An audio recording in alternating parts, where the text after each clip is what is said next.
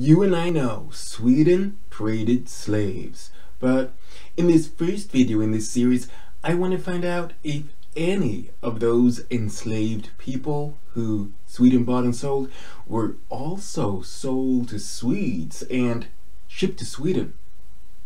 Let's find out. Swedish slave trade was banned in 1335 but resumed when Sweden acquired the trading post in Cabo Corso, Ghana in 1650. Some claim that slavery existed in Sweden even after the year 1335. They base it on individual cases. In any case, the scope was very limited. There is no evidence that Swedes used enslaved people for typical slave labor after 1335. Traveling magnates did bring enslaved people to Sweden though. They sold them to the Swedish nobility and the Swedish nobility primarily kept the enslaved people as a status symbol. However, between the 16th and 18th centuries, Swedes bought several enslaved black people abroad.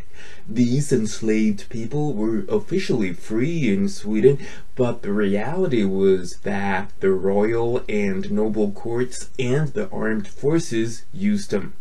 The most famous examples of such people were probably Gustav Badin and Antoine Zamore. Who were Antoine Zamore and Gustav Badin?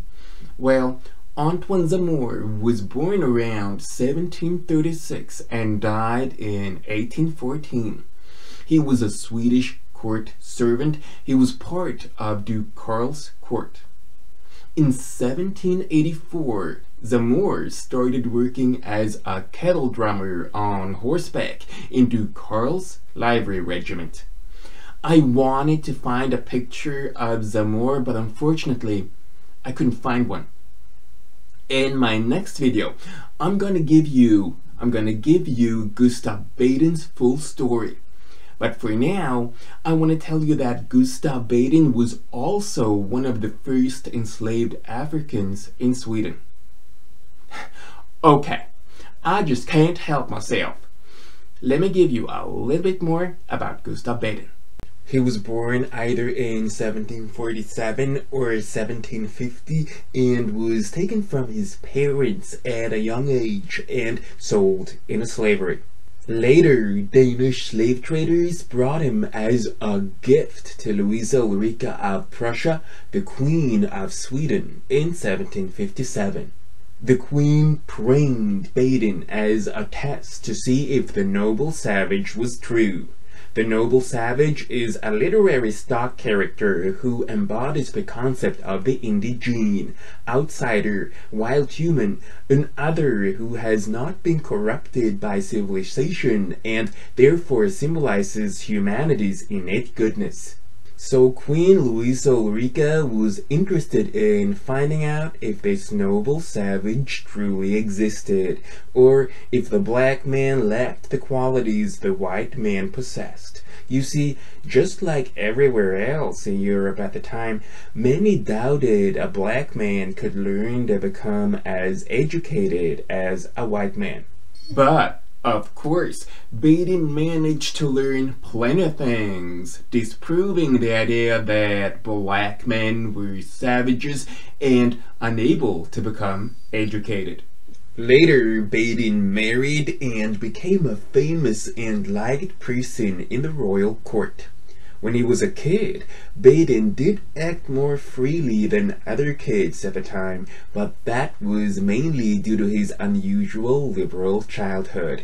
The queen was friendly to him because she gave him freedom from corporal punishment in the home, which was customary for young royals and nobles during childhood.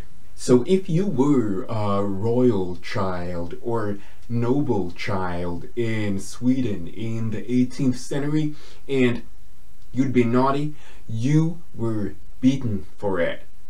But the queen never allowed anyone to beat Badin. No one was allowed to lay a finger on him. Good for him. Later, Badin also learned about the Swedish Lutheran religion and married Elizabeth Svart. There were more enslaved people who were brought to Sweden though.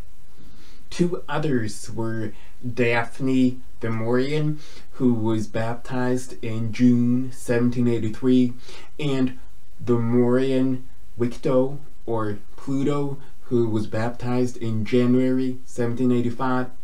The latter was said to be from India. Both of them were brought to Björke parish in Småland. And a few years earlier, Three Native Americans were said to have been baptized in the presence of nobility and the general public in Sweden. Between about 1650 and 1850, there were Swedish officials and businessmen who worked in Sweden's colonies in West Africa and the Caribbean and who brought enslaved people to Sweden. The journalist Göran Skytte documented one of those cases. Finally, the Swedish priest Lönner was on duty on the island of Saint Barthélemy in the Caribbean in the 19th century. When he went home to become a priest in Hudiksvall, he took two enslaved children back with him. It was doleful though because the two enslaved children didn't survive Sweden's cold climate. This information came from these websites. You'll find these links below this video. If you found this video interesting, please give it a thumbs up and leave a comment in the comment section below. Subscribe to my channel and watch this series from the start. Next Friday, I'll be back with a new video in my series on LGBTQ plus related topics.